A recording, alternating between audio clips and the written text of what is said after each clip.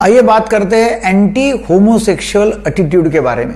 मेरा नाम है डॉक्टर दीपक केड़कर मैं मनोविकार सेक्स रोग, सम्मोहन तथा व्यसन मुक्ति तज्ञ हूँ, महाराष्ट्र में अकोला में प्रैक्टिस करता हूँ। हमारे देश में पहले से ही समलिंगी आसक्ति जो है होमोसेक्सुअलिटी मतलब गे या लेस्बियंस मतलब मेल में यदि होमोसेक्सुअलिटी है तो वो गे है, महिलाओं में होमोसेक्सुअलिटी समलिंगी संबंध है तो वो लेस्बियन है।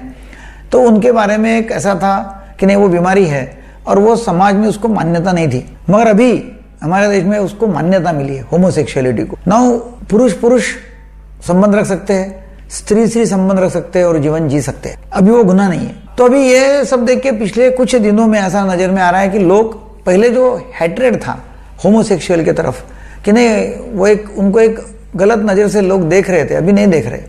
अभी थोड़ी एटीट्यूड अपना बदल रहा है। अभी लोग उनको काम पे रख रहे हैं, कर्मचारी करके वो कहीं ज्वाइन हो जाते हैं। ये लोग कंपनियों में भी ज्वाइन हो जाते हैं।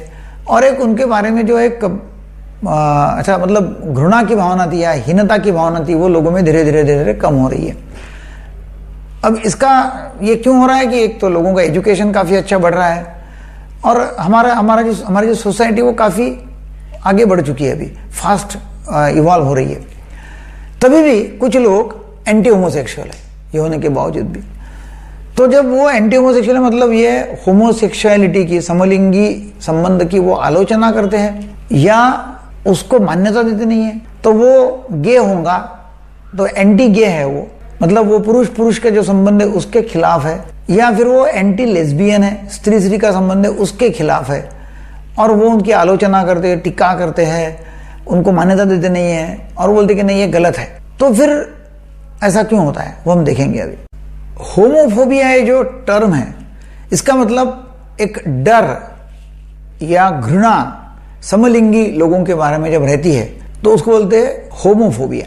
तभी ये होमोफोबिया, एक तो एक्सटर्नल होमोफोबिया हो सकता है। मतलब बाहर के लोगों को, ये जो गे या लेस्बियंस है, उनके बारे में डर या घृणा है, और वो उनको अच्छी नज़र से देखते नहीं हैं तो उसको बोलते हैं एक्सटर्नल होमोफोबिया और दूसरा है कि काफ़ी बहुत ज़्यादा मात्रा में। होमोसेक्सुअल्स जो है कि जो गे है लेस्बियंस है या बाइसेक्सुअल है उनको एक अपने बारे में एक गिल्ड फीलिंग होता है। अपराधीपन की भावना होती है। या एक आ, मतलब उन कुछ तो भी गलती कर रहे हैं ऐसा उनको लगता है कभी कभी उनको अच्छा लगता नहीं बींग होमोसेक्सुअल ऐसे कुछ लोग हैं तो वो है इंटरनलाइज्ड होमोफोबिया या इंटरनल होमोफोबिया वैसा तो काफ़ी लोग ऐसे हैं कि जिनको अपने अपने खुद के होमोसेक्सुअल होने के ऊपर अच्छा लगता नहीं है। मतलब दे आर नॉट हैप्पी वो खुश नहीं है। मगर वो अभी उनकी एक आदत सी बन गई, उनकी एक मजबूरी बन गई, उनके एक ब्रेन पैटर्न बन गए हैं और वो हिसाब से वो होमो मतलब होमोसेक्सुअल है। उनको अच्छा लगता नहीं है, तभी भी वो होमोसेक्सुअल करके जीवन जीते हैं। इंटरनल होमोफोबिया जो है, उसमें यदि वो खुद को लाइक नहीं करते या उनको गिल्ड फीलिंग है या खुद को क्रिटिसाइज कर रहे हैं तो फिर होता क्या है? तो फिर उसमें उनका एक होमोसेक्सुअल अट्रैक्शन जो धीरे धीरे सेम सेक्स की तरफ़ का धीरे धीरे अट्रैक्शन कम कम होते जाता है। नंबर दो, वो खुद को डिवैल्यूएट करते हैं। उनका सेल्फ एस्टीम कम हो जाता है। कि नहीं ठीक नहीं कर रहे। तो उनका डिवैल्यूएशन होता है सेल्फ एस्टीम कम होता है। उनका identity problem identity crisis create हो सकता है। और उनको फिर यदि ज़्यादा ही ये होते गया तो उनको डिप्रेशन एंग्जाइटी या फिर और कोई मेजर साइकेट्रिक इलनेस मानसिक बीमारी हो सकती है।